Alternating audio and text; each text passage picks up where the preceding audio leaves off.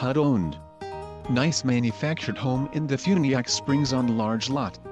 The master bath has a double vanity, whirlpool tub, and separate shower.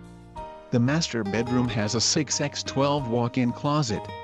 All but one bedroom is equipped with walk-in closets. The kitchen is equipped with a built-in range, microwave, and flat-top cooking stove.